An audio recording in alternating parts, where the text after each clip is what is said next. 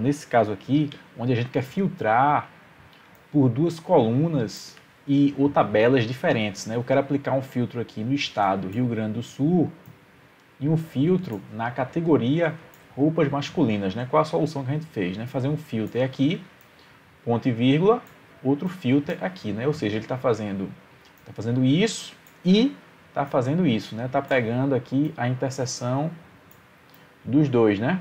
É, Rio Grande do Sul e roupas masculinas, né? Essa interseção aqui.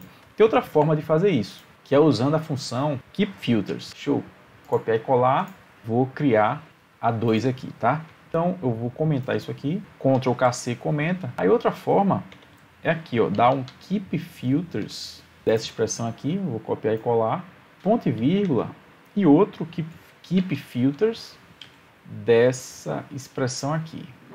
Então estou fazendo aqui dois Keep Filters, né? Para o estado igual ao Rio Grande do Sul e para a categoria igual a roupas masculinas.